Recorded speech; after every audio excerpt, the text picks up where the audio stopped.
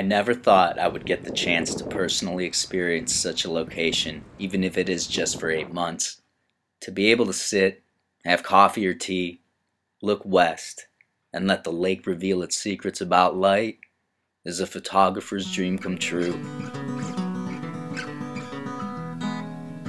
There is a difference how the sky looks in the middle of land compared to how it looks over a body of water that has a completely flat horizon. There's just so much more of it. The photographer's palette just got bigger. Some days, I sit and marvel at the beauty of the rock that makes up the stone wall surrounding the fireplace. It took me about five months to notice that the stonemason had laid out a specific message in the rock wall.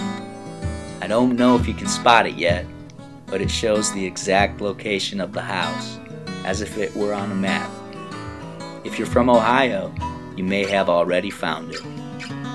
And what I find most intriguing is that this stonemason, this free builder, free man, chose with his or her own will to honor the ancient esoteric principles of as above, so below, and hidden in plain sight through the building of a simple stone wall. Whether he or she knew it or not, they were contributing to the magic of this house. My skeptical mind screamed coincidence until I noticed the sliver of stone representing Catawba Island pointing to the location of the house where the two rocks meet.